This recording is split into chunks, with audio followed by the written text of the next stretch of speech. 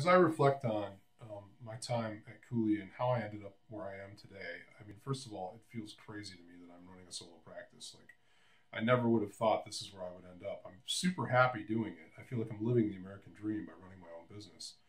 Um, but I think a big part of uh, what allowed me, what emboldened me, to use that word, to try this was having met and known and being been encouraged by so many great lawyers that I met while I was at WMU Cooley.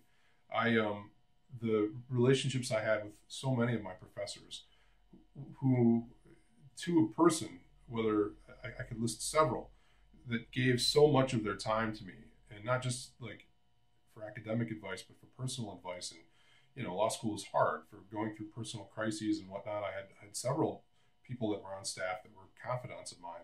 Having gotten to know lawyers really well and having um, really felt like they poured their souls into what they offered us um, really made me feel um, like I knew what it meant to be a lawyer before I was one.